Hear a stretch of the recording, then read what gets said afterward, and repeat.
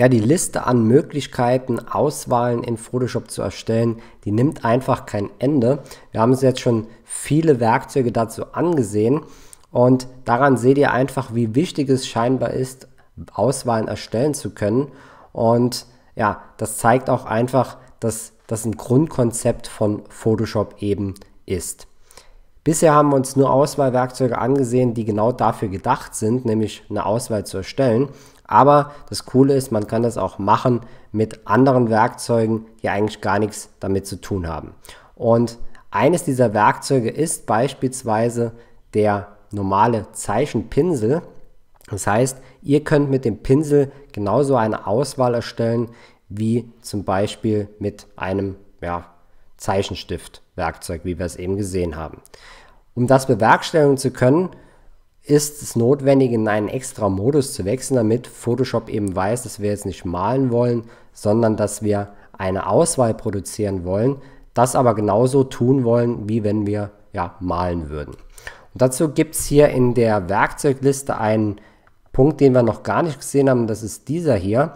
Der versetzt beim Drücken Photoshop in den sogenannten Maskierungsmodus und wir machen das einfach einmal. Ihr seht, jetzt entsteht hier ein Maskierungssymbol. Es sieht so ein bisschen aus wie das Symbol, was wir auch hier unten in der äh, Ebene hatten, wo es um Masken ging.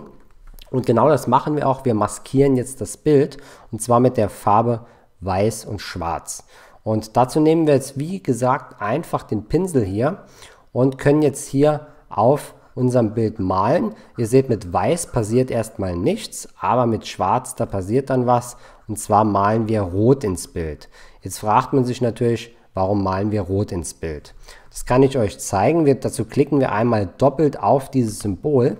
Und wenn wir das machen, dann kommen wir in die Maskenoption. Hier können wir nämlich die Farbe einstellen, die Photoshop uns hier als Maske eben anzeigen soll. Und wir können auch festlegen, was die Farbe bedeutet. Und zwar möchte ich, dass die Farbe bedeutet, dass hier ausgewählt wird.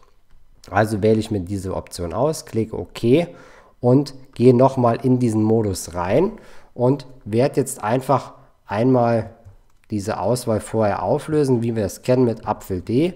Wechsle nochmal hier rein und werde jetzt einfach mal mit meinem schwarzen Stift hier diese Farbe Rot eben reinmalen. Und ihr seht, ich kann jetzt einfach hier diese Farbe Rot über mein Model hier drüber malen.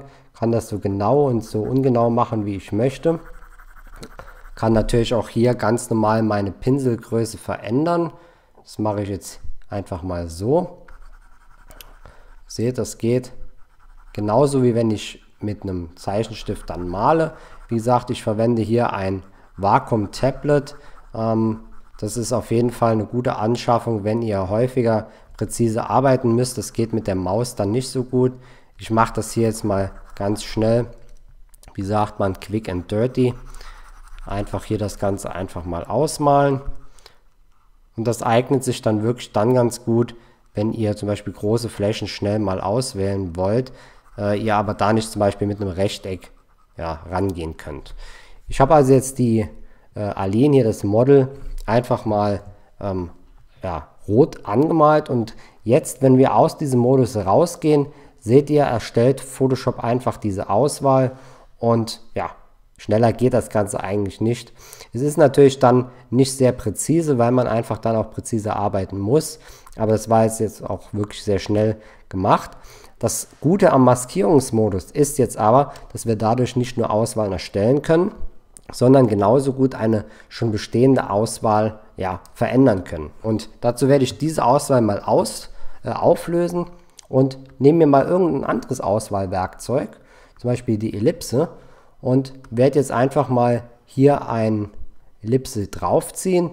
Ihr seht, wir haben diese Auswahl und wenn wir jetzt in den Maskierungsmodus wechseln, den ihr übrigens auch mit der Taste Q erreicht, dann seht ihr, bekommen wir genau das, als Auswahl hier rot markiert, was wir jetzt gerade schon selbst ausgewählt hatten.